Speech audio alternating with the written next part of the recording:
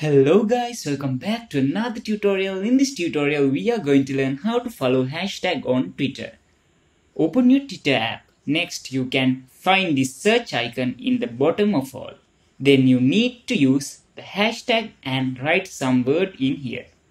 Now you can tap on these three lines in the top right corner and click save the search button in here. When you go back to search, you can look for words with hashtags. Hope this video was helpful for you guys. See you in the next video.